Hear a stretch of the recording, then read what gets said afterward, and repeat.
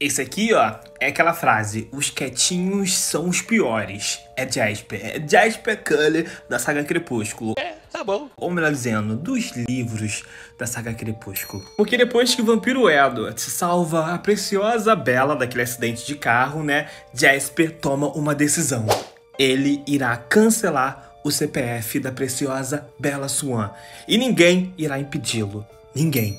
Ah, mas a sonsa da Bela adormecida aqui, ela queria fazer o serviço sujo. Ela queria cancelar o CPF de Bela. Ela falou, deixa comigo. Ela acabou de sofrer uma concussão. Então, se ela acidentalmente não acordar amanhã, vai ser super normal. Nossa, ela é fria e sanguinária, mas Carlyle falou não. Até que a nossa Alice salva o dia, onde ela tem a visão de que ela irá se tornar a melhor amiga de Bella que Edward irá se apaixonar por Bella ou irá matá-la.